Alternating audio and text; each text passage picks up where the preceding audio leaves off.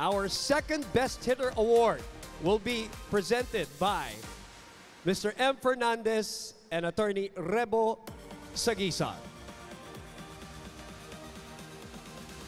We name our best outside hitters, and the outside hitter does so many things for a team, and our awardees are the pictures of versatility. Our second best outside hitter from the Ateneo Blue Eagles, Faith Nisperos.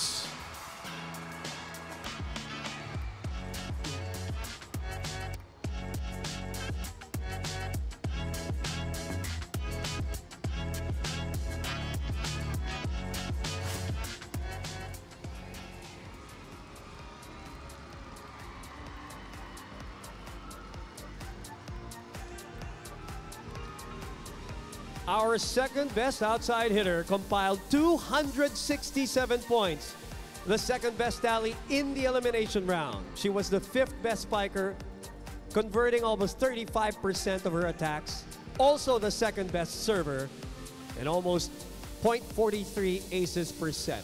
From the Ateneo Blue Eagles, congratulations once again, Faith Nisperos.